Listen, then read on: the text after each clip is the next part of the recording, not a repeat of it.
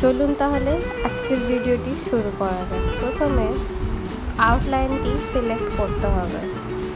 তারপর ফ্রেমে থাকা ফটোটি আউটলাইন কাট করতে হবে।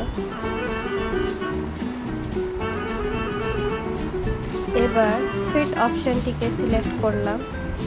কালারসে গিয়ে ইচ্ছে মতো কালার আপনারা নিতে পারবেন।